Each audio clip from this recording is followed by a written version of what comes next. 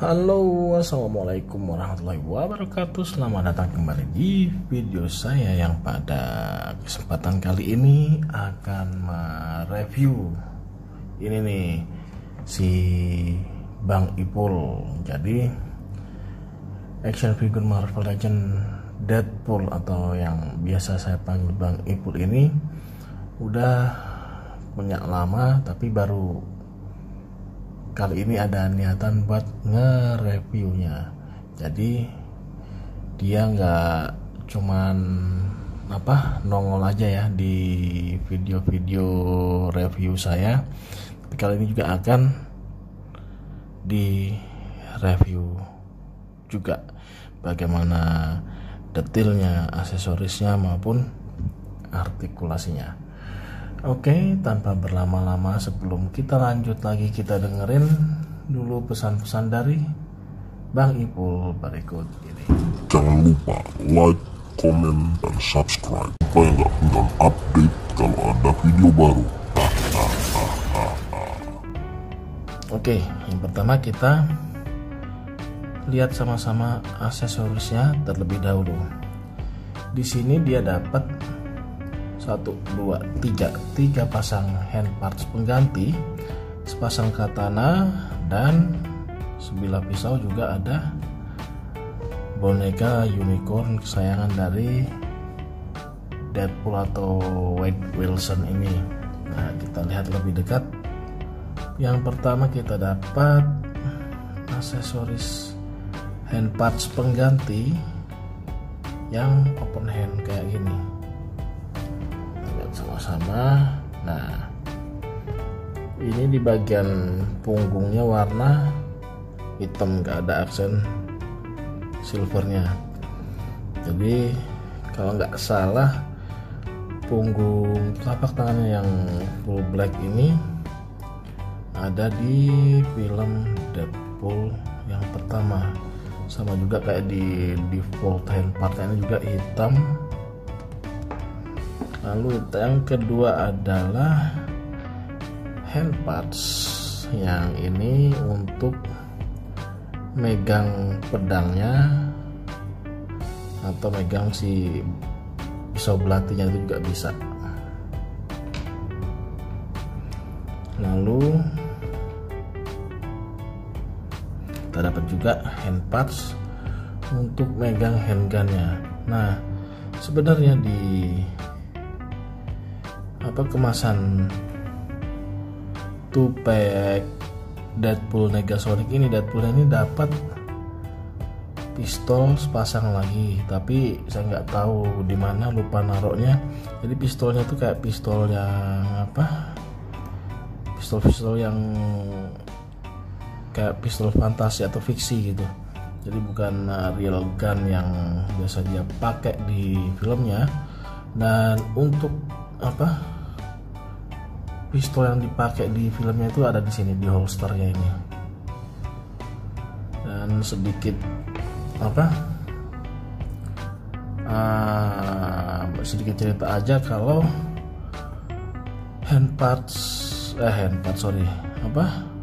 Pistol yang ada di holsternya ini sebenarnya dia pada awal kita beli itu dia dilem ya.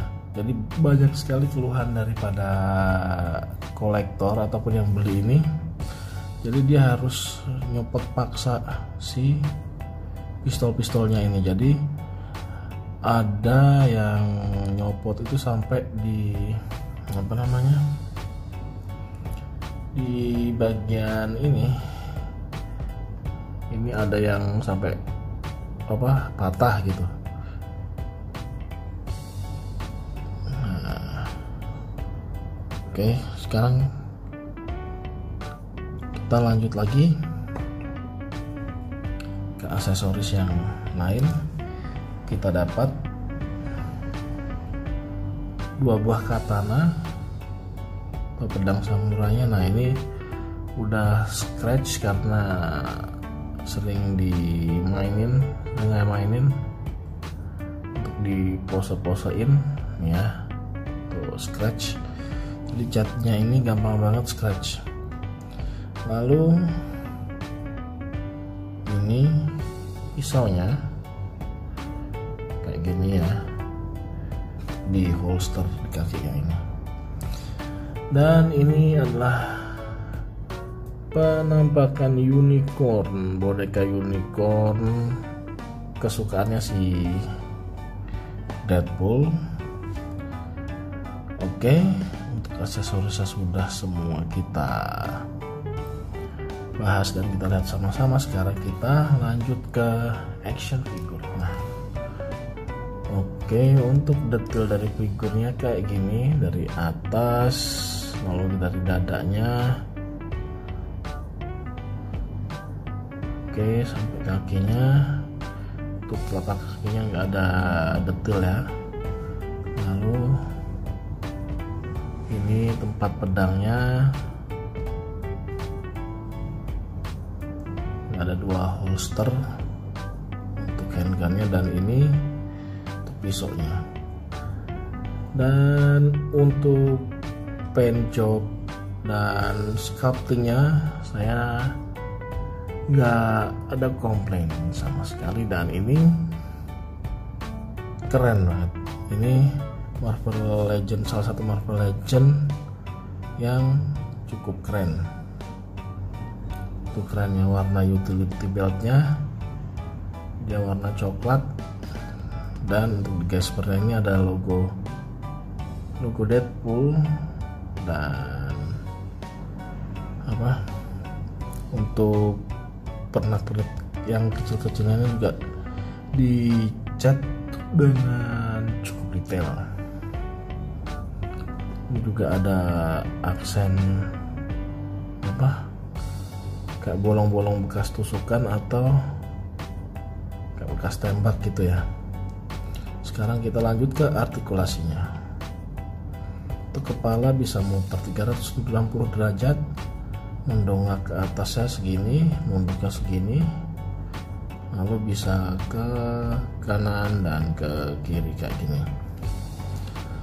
Tangan bisa muter 360 derajat juga merentang sejauh ini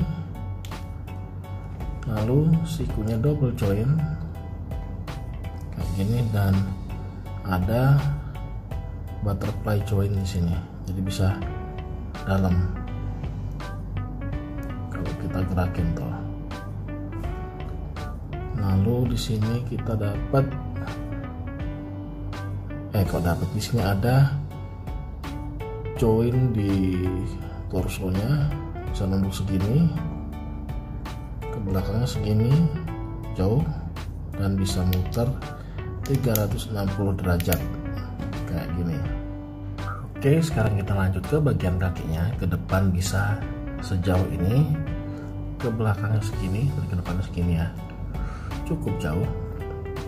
Lalu ke samping dan kalau split jadinya segini jauh. Dan ada join juga di pahanya bisa muter putar-putar kayak gini di lututnya double join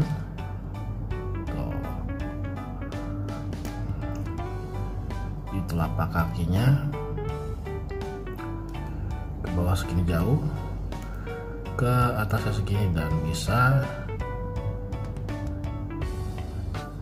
keluar bisa ke dalam jauh ini. Bahkan hampir bisa muter 360 derajat kayaknya. Mungkin oke sekarang kita coba ganti hand dan sambil kita pasang atau kita pakaiin senjatanya. Yang satu katananya kita simpen.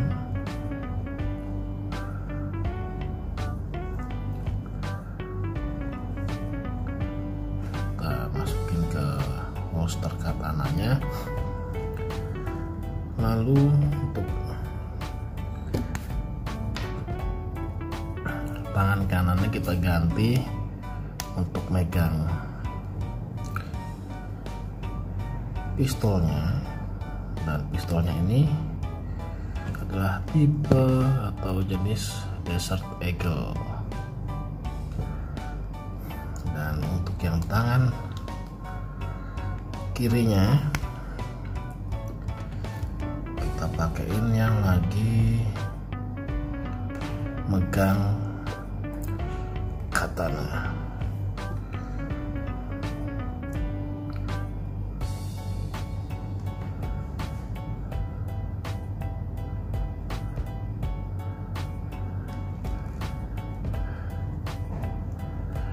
kita posein deh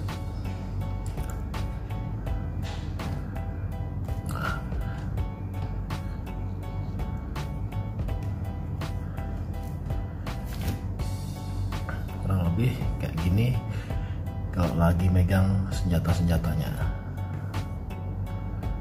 Oke. Nah. overall saya cukup puas dengan apa Marvel Legend uh, Deadpool Deadpool movie ini.